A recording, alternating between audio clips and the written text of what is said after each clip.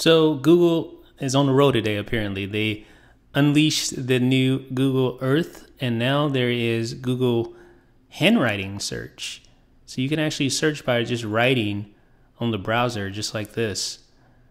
Um, this is Jeff. Kind of mess those F's up a little bit. Yeah, let's let's backspace. You can use a little menu at the bottom to backspace and insert a space. This is Jeff. Okay, so there we go. Now, as I also stated, the menu at the bottom allows you to put in spaces and you can backspace using that little menu there. And then if you want to just type out a Google search, you just tap in the menu bar. And then if you want to re-enable your handwriting, just hit that little G in the bottom right hand corner.